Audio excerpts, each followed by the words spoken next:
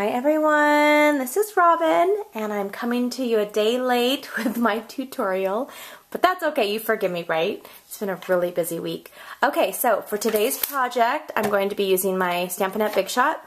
I'm using the Haunt You Later stamp set. So if you were in my Haunt You Later class this month, here's another idea to do with that stamp set.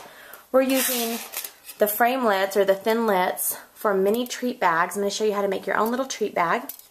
And I'm going to show you how to watercolor using the aqua pens and your ink pads. So I've had some requests on how to do that and I thought I'd show you today. So let's go ahead and get started. Push everything aside. Okay, I have my pattern paper and I'm also using this Halloween um, designer series paper that we have that's in the holiday catalog. Okay, let's go ahead and get started. I'm using the magnetic platform and then I'm using the regular sandwich plate. And I'm going to put this on top because I actually am going to have this for the opening. I'm putting that right here and I'm going to stick my die right here face down so that it cuts. And let's put our, plat our other sandwich right on top of it. And then I'm going to just sandwich it through. Now what I'm doing is I do it twice. So I go one way through and then I go back. And that way I am 100% sure it's going to cut all the way through. Okay, so let's put this down here and take this off. All right, let's see what we have.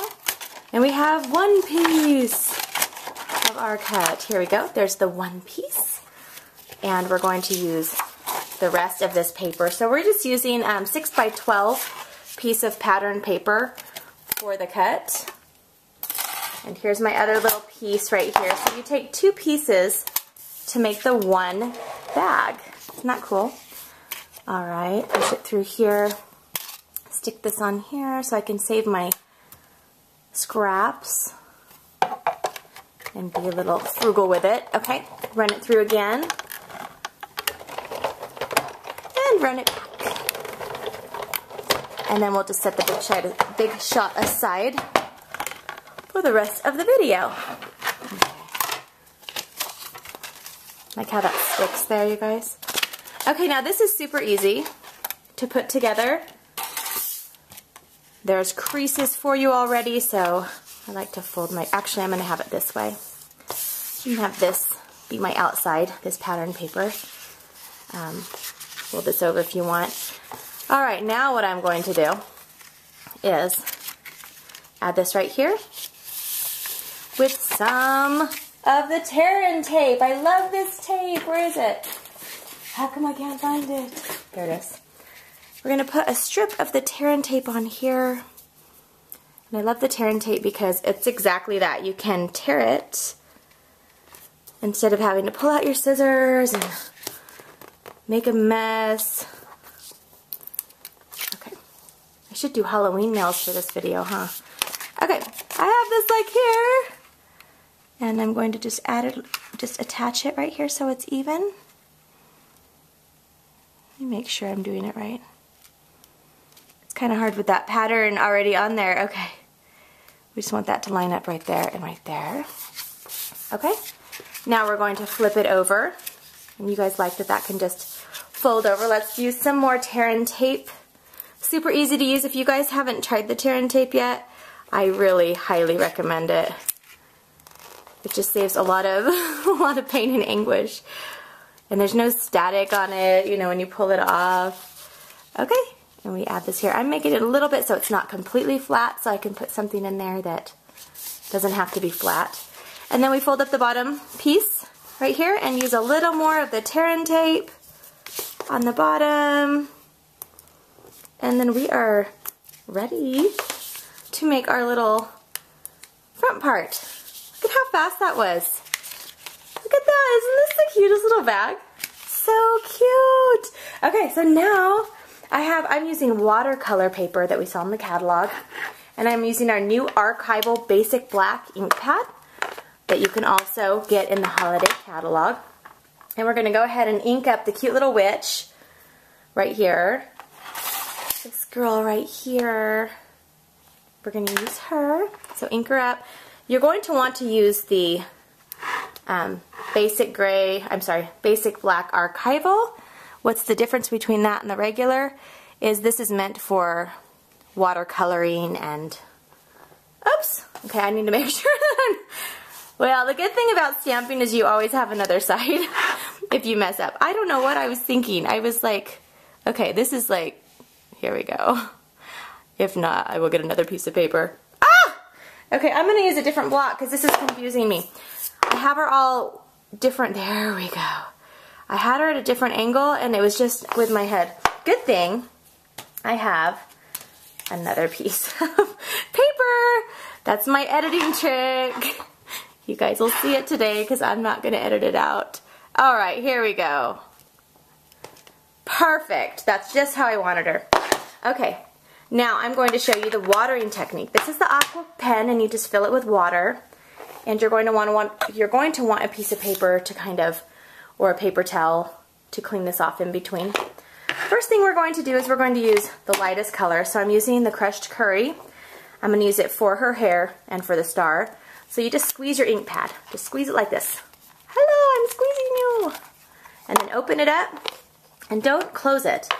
Just lay it there and this is your little color palette to work with. And with your aqua pen, it has water on the tip. Just kind of pull a little bit away. You can pull as much or as little as you want. Um, and if you want to, I'll use it this my practice sheet. If you want to practice, you can. You might want to get some of the water off if you have too much water and not enough of the ink. Okay, so I'm just going to pull it on here. When I watercolor, I just do a little bit. I don't, I'm not that good at the coloring process, so that's all I do. And then I'm going to pull a little bit more, and I'm just going to color it on her hair. Okay, you guys kind of get the gist, and if you want it to look like it's like a different color, you can.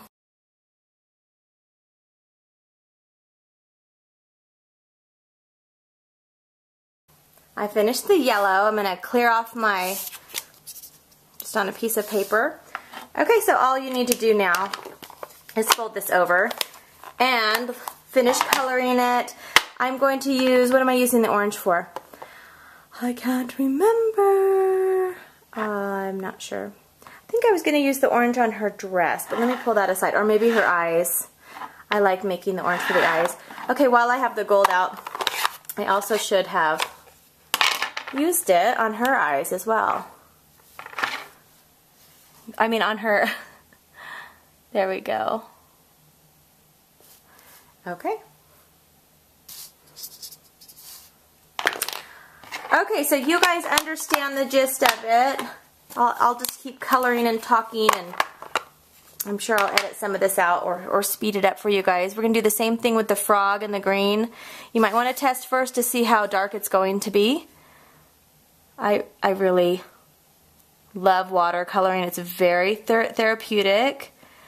If you need something to do that's relaxing, watercoloring is definitely for you. Okay, so I have the frog on there. I'm just adding, like I said, just a little bit of color here and there. And I was going to use, I think I'm going to go ahead and pull in the orange on her dress. Actually, I don't want that. Hmm. Let me let me decide. Hmm. No, I do want orange. Pumpkin pie. Pumpkin pie, old olive, and crushed curry is, are the colors that we're using. Okay, really. Okay, so this one I definitely want to test. Okay, that'll be pretty. Okay.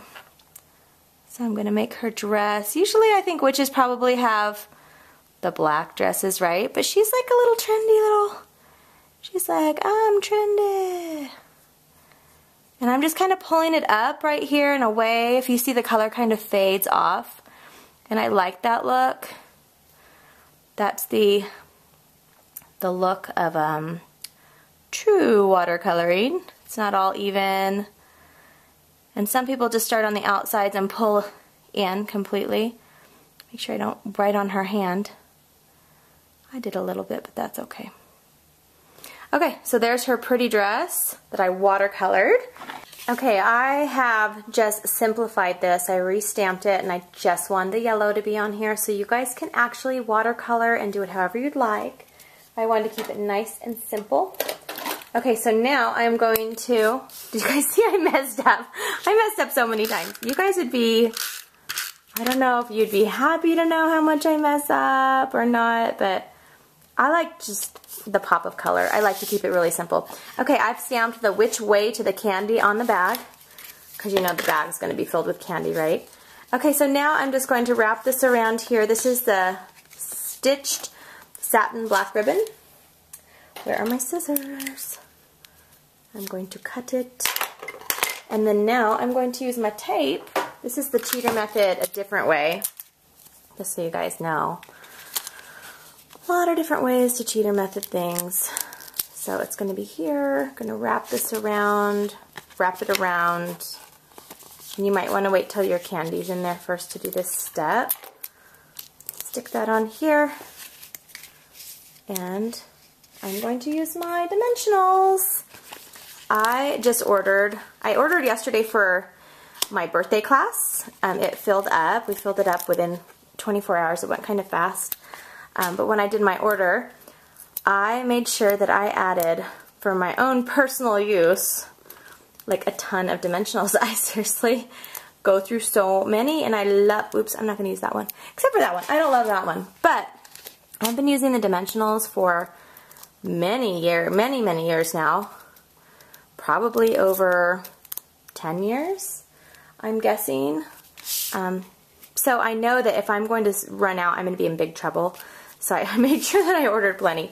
Okay, so now let's do this. Let's just run this little ribbon piece through here. And cut it. And then we'll just tie this here. So it's kind of like a card, but it's not. It's a cute little bag. And these would not take very long to whip out a ton of these little bags. I'm going to cut that at an angle. Not my finger. Actually, I'm going to do a better job close up. Okay. And then over here, we're going to do this. There we go. Okay. So we have our cute little gift bag, and if you, like I said, want to add different colors, or you could even use the Dracula on there, or the cat, or the pumpkin. Super cute idea. Okay, hope you guys have a happy Halloween. Talk to you soon. Bye.